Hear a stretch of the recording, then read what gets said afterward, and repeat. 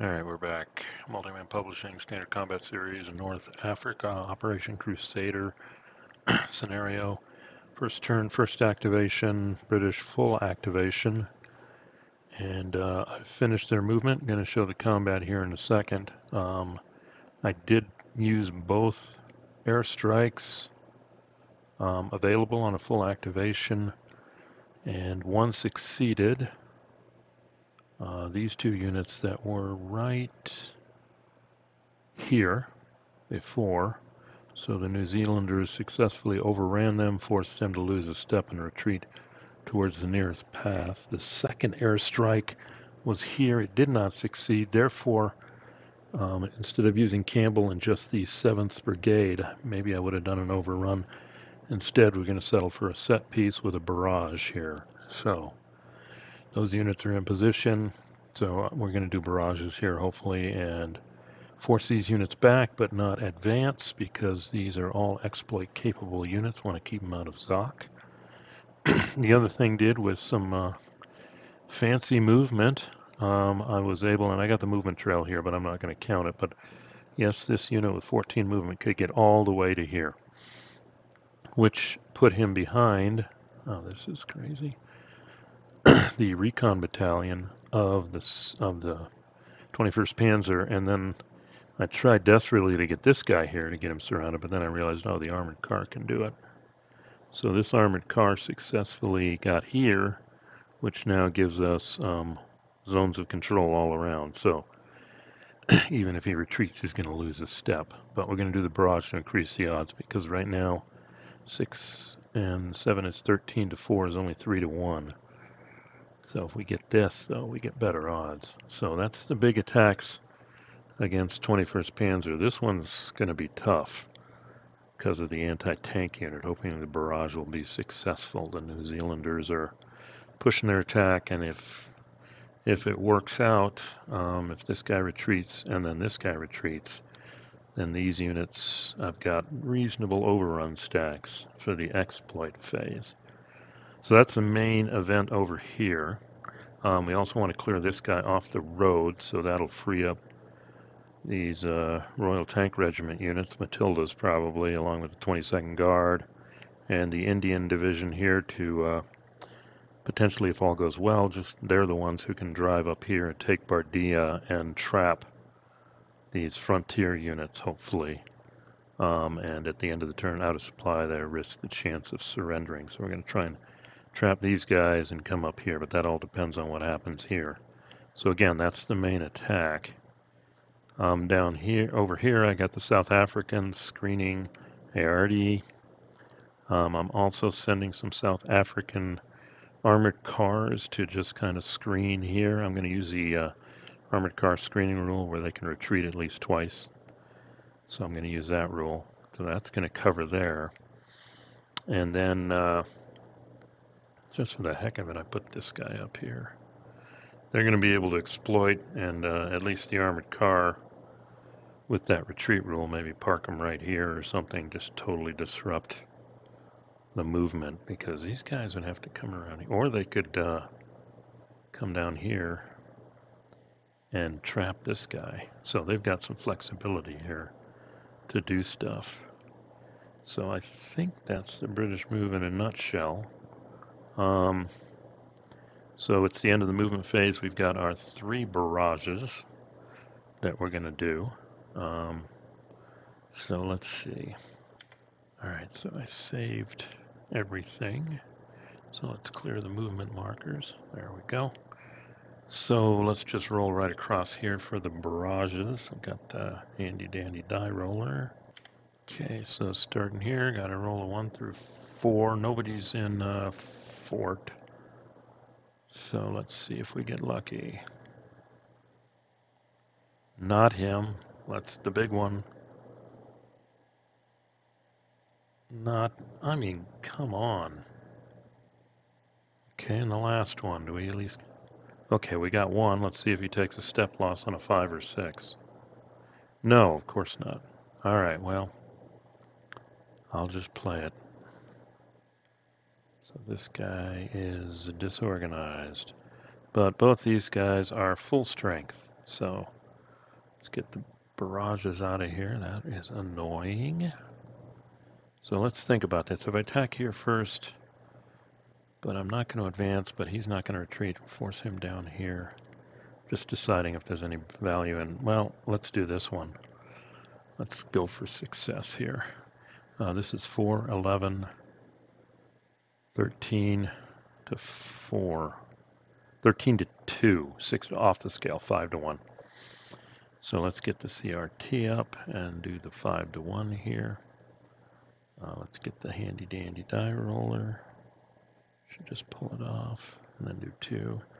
Can't believe the luck on those barrages.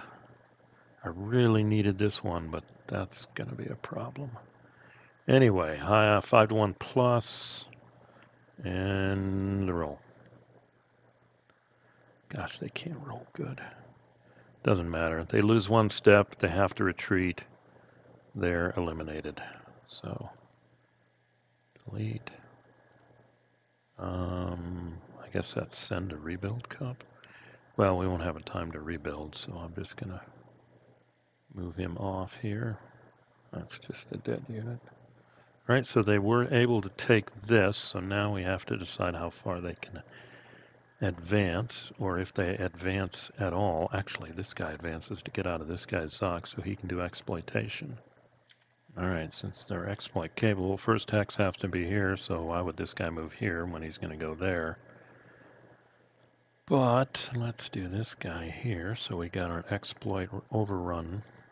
Oh yeah, let's just throw him in. So that means that's a 13 for an exploit overrun. Okay. Um, let's think about this. No, I don't want to go there. Well, that does block there, so go in there and blocks there anyhow. So I don't know, if we get lucky and win this, then we've got zones of controls around this guy. So I guess we'll do this one first. And first, I forgot this last time, but let's see if Campbell doesn't come out of this. So we got the leader loss, Campbell, die roll, two dice. How does Campbell do? A five. He lives. Good deal. So we got a straight up. Um, 17. That gets us a 3 to 1, and that's not enough to round up. Needed to get to 18 to do that. That's 2 up, yeah. So it's a 4 to 1.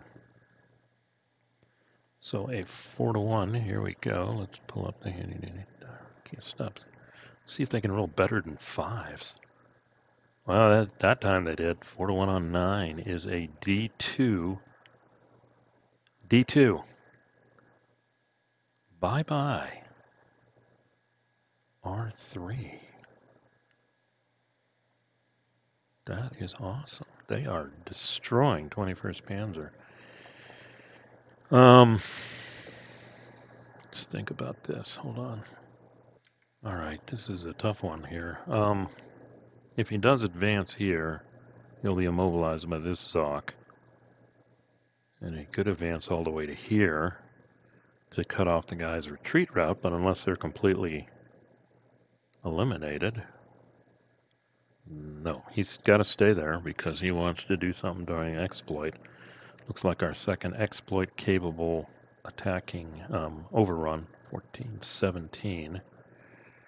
Maybe they could go there. So he's not going to go. He's going to wait. So then we got our last attack here. This is the ugly one. 18. 21 to unfortunately 13 is 2 to 1.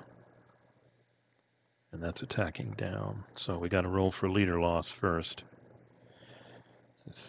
That would be a bummer. 4 didn't lose the leader. So this is a 3 to 1. They really want to roll high on this one. So here we go. Um, Again, the disappearing die roller.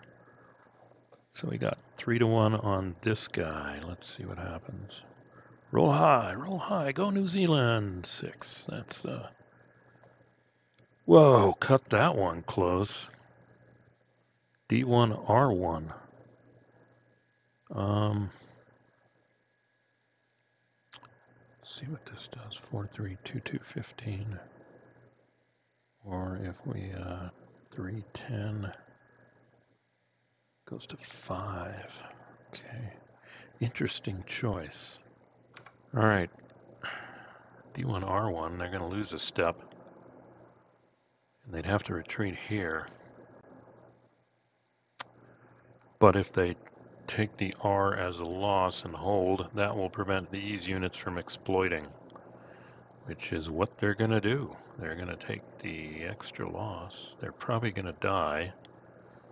But now these units can't do anything in the exploit phase. So that was kind of a loss there. So anyway, let's move down here. One more attack.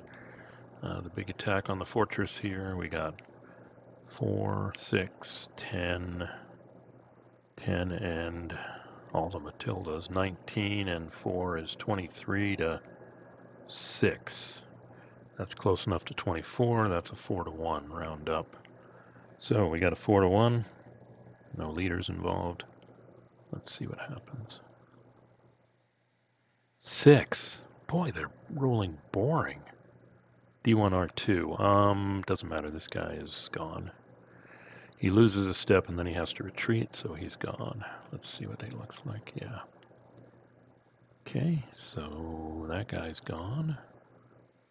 And this is a built fort and it disappears, I think. Yeah. And then, um, let's see, these guys, this guy, well, I think we're going to make this guy advance because then he can quickly drive up the road. And then, uh, well, let's just make this guy advance. This is messy. And then two of these guys. And that didn't work. Oh boy, got movement trails on too. Let's get rid of that. All right, let's do it this way. One, two. That's good. I'll have to check to see if trucks can advance. But this puts them all on the road to assist here next turn. Because all the Germans can do next turn is react. And these guys are posed to pin down everybody. That's our goal here. So that we can get one more act uh, activation. But then, man, that is too bad about these guys. Um, I'd be tempted to use them to overrun here, but now they're stuck. So maybe this guy can swing around and overrun him. Um, but they're still pretty strong. Seven. Yeah, that's seven. And this is uh, not good odds. Hmm. And all they can do is, yeah, man. That really took the teeth out. They could have done a lot of damage. Anyway, I think that's everywhere. Yeah, we're not attacking here. So I think that is the end of, and we're not doing anything in Tobruk. I looked at it. I mean, we don't want to take inadvertent losses for no reason. We got good defenses here. I think they're doubled or tripled or something. The only unit I could attack is this guy, and that's going nowhere. Um, but then these guys, this is this is the route in. I mean, they're going to hit here and go. So next is the exploit phase, and desperate defense by 21st Panzer here, even though they did lose some strong units. Um, so we'll see that, and that kind of took the teeth out of being able to overrun. Um, this would have been the ultimate overrun stack. I don't know if there's any other low-hanging fruit here for overrun. I don't see any worthwhile, especially since we can't do barrages or soften them up. So the exploit phase may be more just kind of pinning the Germans from responding before the next full activation. So, um, reasonably successful. Inflicted losses on 21st Panzer. Um, reasonable movement of their positions, but this this place, I think this place, re, re, well, no, it just resisted the barrage. So they didn't get good rolls on their barrages. Too bad. All right, so when we come back, um, it will be the British exploit phase. I'll probably go ahead and do that move offline. Um, and then maybe that'll roll right into the German uh, required reaction phase to see what they can do to extricate themselves, to see if Rommel can pull a rabbit out of his hat. I think he's got an overrun capable, but with five, he's not going to overrun much.